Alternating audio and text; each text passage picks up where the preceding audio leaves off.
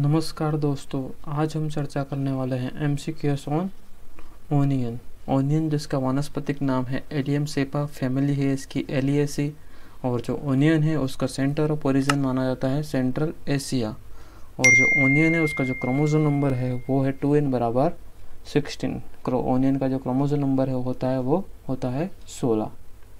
तो हम देखते हैं इस पर एम सबसे पहला क्वेश्चन है pungency in onion bulb is due to onion bulb में पंजेंसी या चरपराहट किसके कारण से होती है? ऑप्शन ए है allyl propyl disulphide, option B है कैप्सेसिन, ऑप्शन सी है क्यूरक्यूमिन और ऑप्शन डी है नन ऑफ़ दिस। तो pungency of in onion bulb is due to onion bulb में पंजेंसी किसके कारण होती है? तो वो होती है एलाइल प्रोपाइल डाइसल्फाइड के कारण उसमें पंजेंसी होती है। अगले प्रश्न की ओर चलेंगे।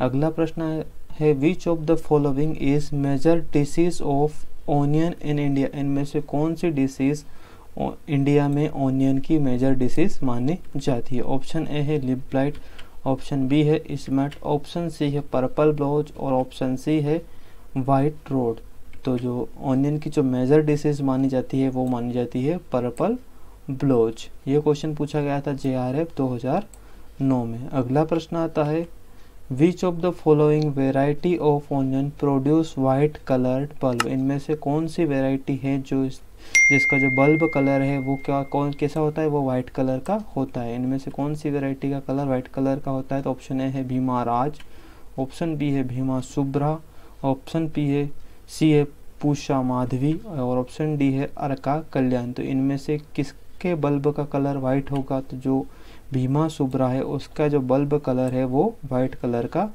होता है। अगला प्रश्न आता है ओनियन इज़ हाईली ओनियन किस प्रकार ओनियन में किस प्रकार का पोलिनेशन पाया जाता है? ऑप्शन ए है self pollinated crop option B है cross pollinated crop option C है ओफन सेल पोलिनेटेड क्रॉप या ऑप्शन डी है नन ऑफ़ द एबो तो जो ओनियन है, वो हाईली क्रॉस पोलिनेटेड क्रॉप है। ओनियन कौन, किस प्रकार का पोलिनेशन पाया जाता है? ओनियन में हाईली क्रॉस पोलिनेशन पाया जाता है। ये पूछा गया था गुजरात पीएससी 2019 में। अगला प्रश्न आता है the edible portion of onion is modified stem जो इडेबल पोर्शन है ओनियन का वो मॉडिफाइड स्टेम है, उसको किस नाम से जाना जाता है? विच इज़ नोन एज उसको किस नाम से जाना जाता है? ऑप्शन ए है राइजोम ऑप्शन बी है बल्ब ऑप्शन सी है ट्यूबर और ऑप्शन डी है राइजोम तो राइजोम यहाँ डबल हो गया है। तो जो इसका जो करेक्ट आंसर है, वो है बल्ब ओनियन का जो मॉडिफाइड स्टेम है, उसको बल्ब के नाम से जाना जाता है। मतलब हमारा जो बी ऑप्शन है, वो करेक्ट आंसर है। अगला प्रश्न आता है which of the following state rank first in onion production Bharat में कौन सा स्टेट में ओनियन का प्रोडक्शन सबसे ज़्यादा होता है। ऑप्शन ए है महाराष्ट्र, ऑप्शन बी है कर्नाटका, ऑप्शन सी है गुजरात और ऑप्शन डी है मध्य प्रदेश। तो ओनियन का जो सबसे ज़्यादा प्रोडक्शन होता है, वो होता है महाराष्ट्र में। ओनियन का सबसे ज़्यादा प्रोडक्शन कहाँ होता है? तो सबसे ज़्यादा जो प्याज है, उसका उत्पादन कहाँ होता है? महाराष्ट्र में होता है। ये भी जो गुजरात पीएससी 2019 की एग्ज़ाम उसमें पूछा गया था।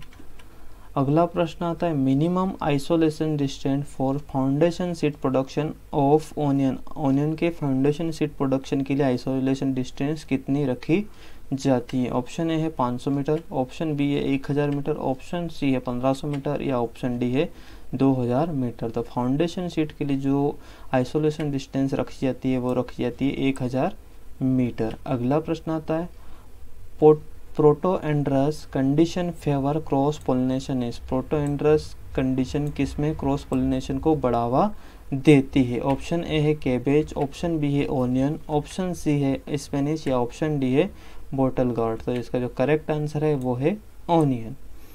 अगला प्रश्न आता है, onion bulb show bolting is the temperature remain below onion में बोल्टिंग कब शो होती है जब टेम्परेचर कितने डिग्री से नीचे जाएगा तो उसमें बोल्टिंग शो होगी। ऑप्शन ए है तीस डिग्री सेल्सियस, ऑप्शन बी है पच्चीस डिग्री सेल्सियस, ऑप्शन सी है दस डिग्री सेल्सियस या ऑप्शन डी है पंद्रह डिग्री सेल्सियस। अगर पंद्रह डिग्री सेल्सियस से नीचे तापमान जाता है तो उसमें ओनियन में बोल्टिंग हो जाती है। तो जो करेक्ट आंसर है वो है पंद्रह डिग्री सेल्सियस। करेक्ट आंसर है वो है पंद्रह डिग्री सेल्सियस। अगला प्रश्न आता है pre harvest spray of which of the following is done to reduce storage loss of onion onion के स्टोरेज लॉस को बचाने के लिए निम्न में से किसका स्प्रे किया जाता है? ऑप्शन ए है M H maleic hydrazide option B है G A gibberellic acid option C I B indole butyric acid या ऑप्शन डी है इथेफोन तो प्री प्री हार्वेस्ट स्प्रे किया जाता है किसके लिए?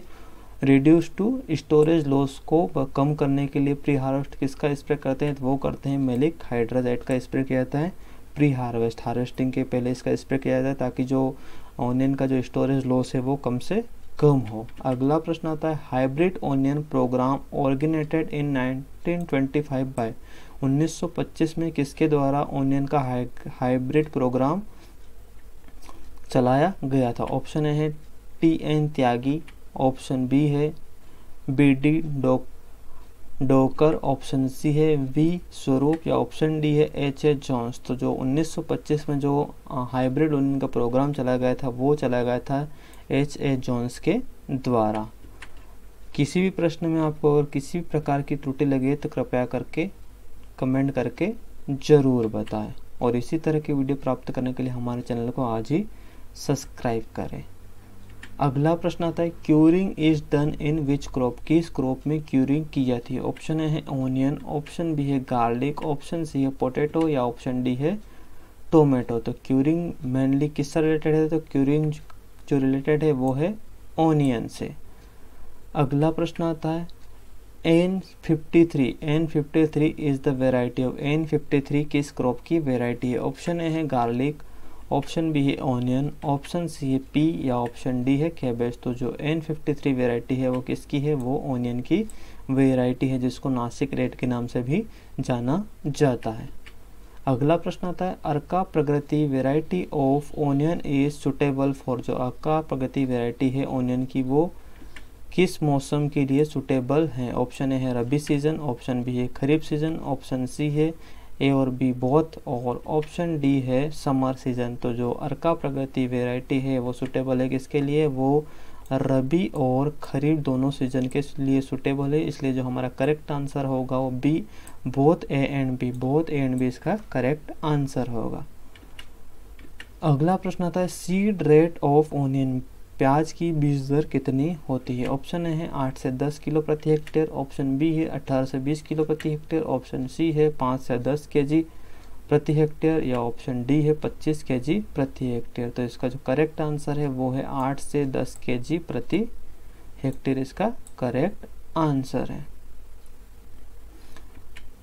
अगला प्रश्न है allyl propyl disulphide present in which crop allyl propyl disulphide किस क्रॉप में पाया जाता है? ऑप्शन ए है कैरोट, ऑप्शन बी है ओनियन ऑप्शन सी है रेडिश, या ऑप्शन डी है बीट रूट तो एलाइल प्रोपाइल डाइसल्फाइड किसमें पाया जाता है? वो पाया जाता है ओनियन में। आप हमारे टेलीग्राम चैनल को भी ज्वाइन कर सकते हैं, जहाँ डेली एग्रीकल्चर और हॉर्टिकल्चर की क्विज़ कराई जाती है, जहाँ डेली एग्रीकल्चर और हॉर्टिकल्चर की क्विज़ कराई जाती है और चैनल का नाम ही है daily agriculture and horticulture quiz. अगला प्रश्न आता है, Arka Pitambar is variety of, Arka Pitambar किसकी वेराइटी है? ऑप्शन है, yellow coloured onion white coloured onion red colour onion और खरीफ ओनियन ये किस प्रकार की ओनियन की वेराइटी है? तो ये है येलो कलर्ड ओनियन की वेराइटी अगर पूसा पीताम्बर आता तो पूसा पीताम्बर मैंगो की वेराइटी जबकि जो अर्का पीताम्बर है, वो ओनियन की वेराइटी है। अगला प्रश्न आता है inbreeding dispersion is found in किसमें? इन ब्रीडिंग डिस्पर्शन पाया जाता है। ऑप्शन ए है रेडिश ऑप्शन बी है कैबेज ऑप्शन सी है ऑनियन या ऑप्शन डी है नन ऑफ़ दिस तो जो इन ब्रीडिंग डिस्पर्शन पाया जाता है, वो पाया जाता है, किसमें पाया जाता है? इनमें से तो इनमें से जो ऑनियन है, उसमें इन ब्रीडिंग डिस्पर्शन पाया जाता है। अगला प्रश्न आता है which of the following onion variety is suitable for kharif crop? इनमें से कौन सी वेराइटी खरीफ क्रॉप के लिए सुटेबल मानी गई है? ऑप्शन है अर्का सुपर ऑप्शन बी है भीमा रेड ऑप्शन सी है भीमा श्वेता या ऑप्शन डी है भीमा सुपर। तो इसमें से कौन सी वेराइटी खरीफ सीज़न के लिए सुटेबल है? तो जो भीमा सुपर है, वो खरीफ सीज़न के लिए सुटेबल वेराइटी है। अगला प्रश्न आता है purple blotch of onion is caused by onion का जो पर्पल ब्लोच होता है, वो किसके कारण से होता है? ऑप्शन है लेवियलूला ट्यूरिका ऑप्शन बी है। Alternaria porri option C Puccinia allii या ऑप्शन डी है। माइक्रोफोमिना फेसी ओलिना तो इनमें से किसके द्वारा ओनियन का पर्पल ब्लोच होता है? तो वो होता है अल्टरनेरिया पोरी के द्वारा। ये एक प्रकार का फंगस है। किसी प्रश्न में कुछ भी त्रुटि लगे तो कृपया कमेंट करके ज़रूर बताएँ। धन्यवाद।